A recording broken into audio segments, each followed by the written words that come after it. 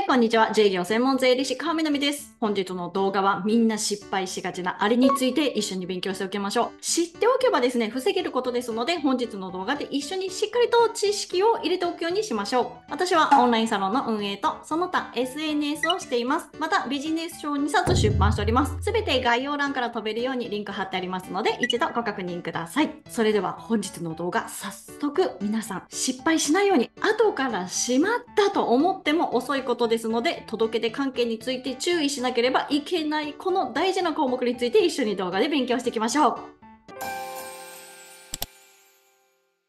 はい、本日は失敗が非常に多い後から後悔している方も多いです。税務署への届け出、控えが大事ということについて動画で解説していきたいと思います。本日の内容です。税務署への届け出書類、皆さんきちんと対策できているでしょうか？個人事業主の多くが失敗体験ありということでですね、後々非常に自分がめんどくさいことになりますので、しっかり知っておくだけで防げます。本日の流れは、税務署に提出する書類はどのようなものがあるのか、次に失敗しないための具体的な対策方法、そして税務署への開示請求の仕方について、そして最後ですね、実は受付員の廃止が決定していますので、そちらについて簡単に紹介したいと思います。こちら、受付員の廃止、令和7年の1月からとなっておりますので、非常に重要な項目ですので、動画最後の方までご覧になってください。それでは、税務署に出す届け出書類というのはどういったものがあるのか見ていきましょう。税務署に提出する書類なんですけど所得税関係だけでですね実はこれだけの種類があるんですね皆さん知っていましたでしょうか？上が申告所得税関係で下が源泉所得税関係となっておりますこちら全ての書類を全員が出すというわけではないんですけどやはり税務署に提出する書類というのはですね非常に多いですのでしっかりと押さえておきましょう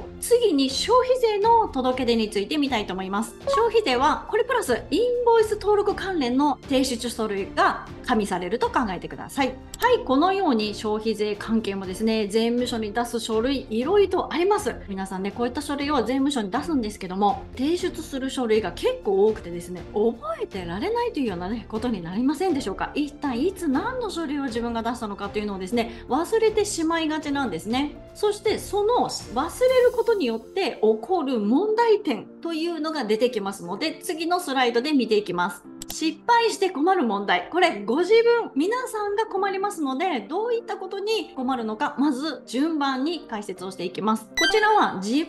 で確定申告をしてるとか、届け出を自分で出してる、税理士がついていないって方の個人事業主は必見になります。例えば、開業届なんですけど、開業日が何月の何日だったっけ？そして提出したんだったっけ？してないんだったっけ？結構記憶が曖昧になる経営者さん、個人事業主の方多いです。そしてこちらの開業届なんですけど、その他使う時があるんですよ。一つのパターンとして、金融機関から借り入れをしたいっていう場合にですね、審査で必要となるので、開業届の控え、コピーをね、提出してくださいと言われることが非常に多いです。その時時にですね、自分の手元に控えがないとですね、提出ができないということになってしまいます。また、廃業はいつですかと聞かれた時にですね、何月何日頃だったっけっていう風になりますと、またそちらでね、手間がかかって非効率になりますので、こういった開業届、何月何日に出したのかとか、もしくは自分が開業届出したんだっけ、出してないんだっけっていう風に記憶が曖昧になりがちです。次に起こる問題として、こちらになります。インボイスの登録関連になります。こちらもですね、インボイスの登録日がわからなくなるというようなことでね、記憶が曖昧になる可能性が高いです。インボイスの登録日、一体自分はいつからスタートしたんだったっけというふうに記憶がこれから曖昧になってくるかと思います。令和5年の10月1日からインボイス制度がスタートしてるので、それに合わせて登録した方は忘れることはなくて分かりやすいんですけど、それ以外の方はですね、一体自分がインボイス登録を何年の何月からスタートしたのか、こちら機械がないとですね、確認を後からすることができませんので、こういった点でもですね、失敗して困る要因、またトラブルが発生してくるというわけです。そして次に確定申告の控えが手元にないパターンですね。これも皆さん非常に困ることになるかと思います。これどういうことかと言いますと、去年の残高がいくらで引き継げばいいのか要はデータがないので確認ができないっていうような問題が勃発します。そして次にこちらも多いんですけど確定申告を提出する前に何度か印刷をしてまた修正してまた印刷をしてってしてるとですね一体どの確定申告書が正しい数字が載った要は最終の数字なのかがわからない問題も勃発する方が多いです。皆さんもこれドキッとねした方いるんじゃないでしょうか。今は会計ソフトでね確定申告している e-tax で確定申告しているっていう方多いのでそういった方は比較的そちらの方にデータが残っていることも多いんですけどやはりですねそれがねいつどうなるか分かりませんのでパソコンのデータもですねパソコンが壊れたりとか、まあ、いろんなね、え、問題がね出る可能性がゼロではありませんのできちんとデータも控えを取っておくダウンロードをしておくもしくは保存をかけておくということを強くお勧めしておきます。さあでは今紹介したこのような失敗をしないために自分が困らないようにどういった対策をすればいいのか次のスライドで解説します。はい、対策についてです。これ結論、控えを用意するということになります。窓口で届け出や確定申告を提出する場合はですね、こちら、申請書類を2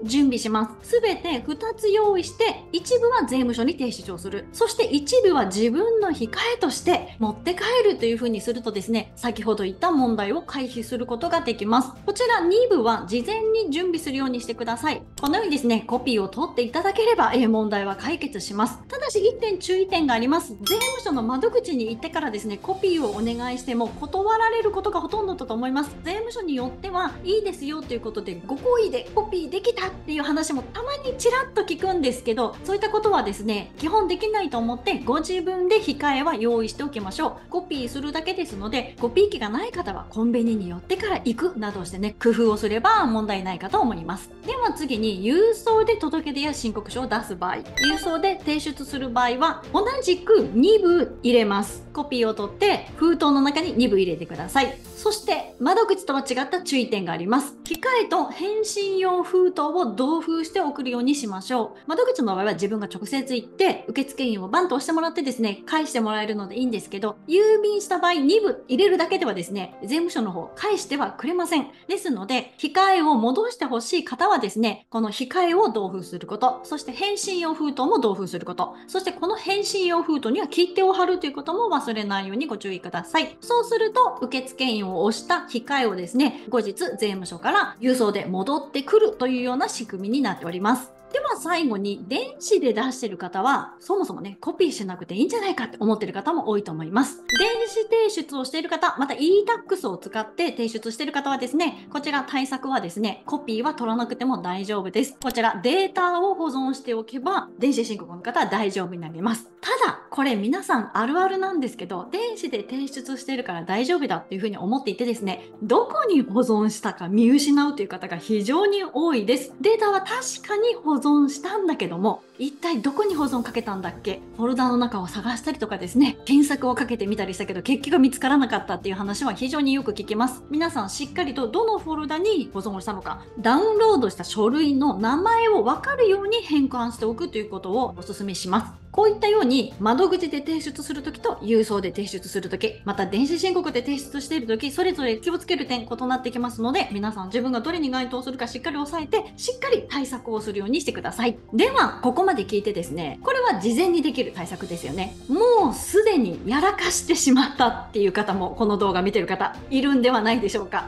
もうすでに税務署の方には出したんだけど、自分の手元に控えがないので、いつ開業したかわからないとか、何の書類を今まで出出しているのか、全くわからない記憶がないという方もいるかと思います。そういった方向けに提出した書類を開示してもらう方法があるので解説します。はい、こちら開示請求についてです。方法が実は3種類あります。順番に解説していきます。まず1つ目が閲覧請求というものです。こちら本人が窓口に出向いてですね、閲覧をすることが可能です。これは過去に出した届出書や過去に提出した確定申告などなどを閲覧することができます。これ代理で誰かね、代わりに行く場合には委任状が必要となりますのでご注意ください。まあ、本人が窓口に行った方が早いかと思います。そしてこちらの閲覧請求の注意点なんですけど、控えはもらえません。要はコピーを取るということができませんのでご注意ください。閲覧のみなので、メモか要は写し取るか少し数年前から写真撮影が可能になりました皆さん今ねスマホをね手元に持ってる方非常に多いと思いますのでスマホでですねスクショをしてくるっていう風にすると控えを入手することができますこの方法が一番ね比較的簡単な方法になりますただし紙で控えはもらえませんのでその点ご了承ください。次2つ目の方法いきます。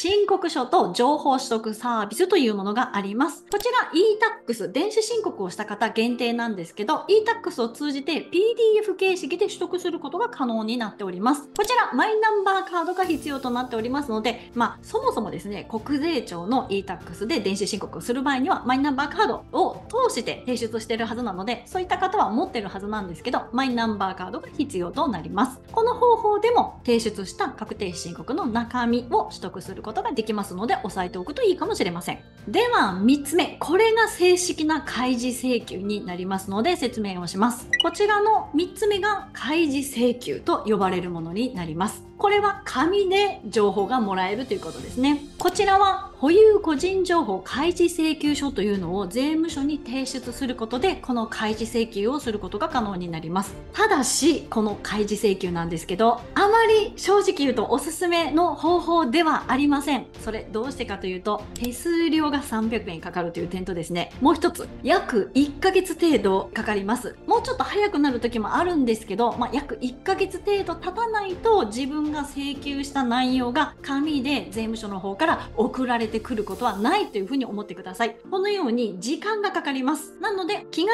にできるのはやはり1番、そして電子申告している方は2番の方法を使うのはありかもしれません。ただし2番はですね、e-tax で提出している方のみとなりますので、窓口や郵送をしている書類は対象外となります。その場合は1番で対応するのがいいんではないでしょうか。ただし、先ほど紹介したように、金融機関にね、開業届提出してくださいって言われた時に、スクショのものはダメですって言われたら、3番のこの正式な手順を踏んで開示請求を税務署にするということになってしまいます。こういっためんどくさいことが起こりますので、皆さんは事前に届け出書、また確定申告を提出するときは対策をして、控えを保管しておくっていうことを徹底するようにしましょう。では次にこちら実は新しい情報なんですけど紹介したいと思います。実は受付員が廃止という制度がスタートします。窓口で提出した確定申告やその他届出書関連全てなんですけど提出したよという証拠として窓口に行った時にこの受付員何月何日提出っていうふうに分かりやすく言うと郵便局の消印と同じようなものを押してくれるんですね。この受付員を持ってきちんと提出しているとかいつに提出したというような証拠になっていたんですけど実はこちら令和7年の1月から廃止が決定しております。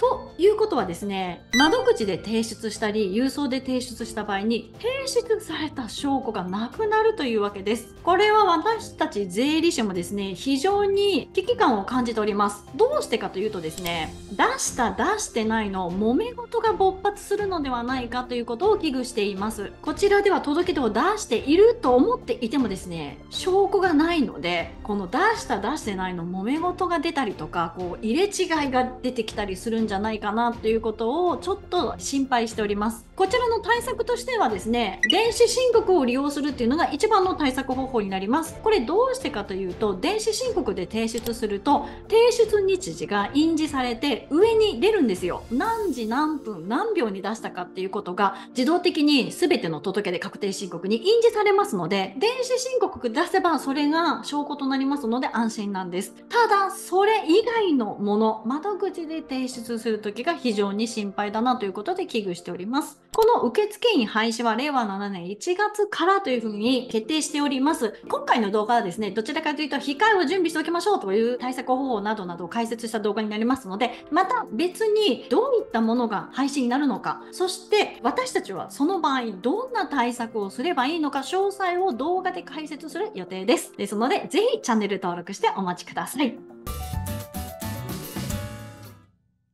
私は税理士川南のオンラインサロンということで、オンラインサロンを運営中です。Facebook の非公開グループで運営をしています。メリットは4つあります。こちら1つ目、税理士、専門家に質問と相談がいつでもできます。文章で質問をしていただいて、私がそれに対して文章でお答えするというものになりますので、チャットのようなイメージを持っていただければ分かりやすいんではないかと思います。2つ目、情報共有の場として有効です。入会者さん皆さん当たり前なんですけど、経営者、また個人事業主、副業しているとか、これから起業するっていう方ばかりになりますので、情報交換ができるとして非常に好評です。3つ目、最新記事のインプットということで、私が平日毎日、経理やビジネス、税金に関する情報、また、SNS の裏側などを投稿しております。その記事の購読権利がついております。そして最後4つ目、これはサロンメンバー限定で、ズームサロンを定期的に開催しております。こちらのズーム上で私に直接質問することもできますし、またメンバー同士がズーム上で直接情報交換ができるということで、非常に毎回感想や好評なコメントいただいております。オンラインサロンについては、詳細は URL から飛べるようになっておりますので、ぜひ一度覗いてみてください。入会お待ちしております。